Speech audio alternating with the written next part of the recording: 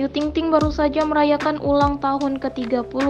Penyanyi kelahiran 20 Juni 2022 mendapat kado mewah dari putrinya Bilkis Humaira Razak. Mengutip Surya, Ayu Ting Ting baru saja menerima kado dari Bilkis pada hari Senin 27 Juni 2022. Melalui unggahannya di Instagram, ia tampak sangat terharu. Ayu Ting Ting menyebut putrinya Bilkis membeli barang mewah untuknya menggunakan uang hasil menabung. Aduh, ini kado dari anak bunda nih. Hah, benar serius? Ya Allah, bunda terharu. Kira-kira apa ya? Apa sih nak? Ujar Ayu Ting Ting. Dari luar kado yang diberikan Bilkis untuk Ayu Ting Ting merupakan brand mewah yaitu Hermes. Saat membuka kado di depan Bilkis, Ayu Ting Ting menemukan sepucuk surat. Dalam misi suratnya, Bilkis meminta Ayu tidak marah-marah. Pelantun alamat palsu itu langsung menjelaskan pada Bilkis bahwa kemarahannya untuk kebaikan sang anak. Tapi marahnya buat apa? Buat Ikis pinter kan? Ujar Ayu Ting Ting. Ayu Ting Ting kemudian menunjukkan sebuah sandal Hermes warna hitam kado dari Bilkis. Ia mengaku sangat senang atas kado tersebut. Aduh, ini kado dari anak bunda nih. Hah? Bener?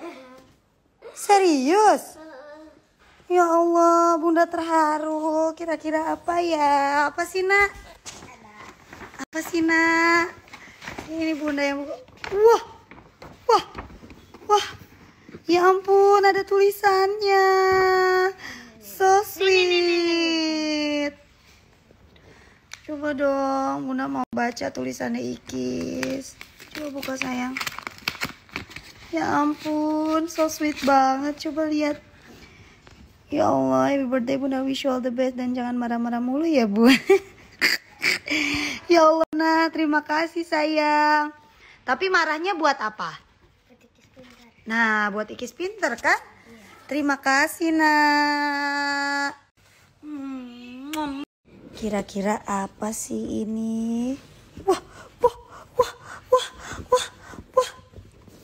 Ayo, ayo, tolong nak, tolong tarik nak. Ya ampun, terima kasih. Ya ampun, bunda suka. Makasih anak muda cantik. Hadiahnya bunda pakai. Ikis harus pinter ya.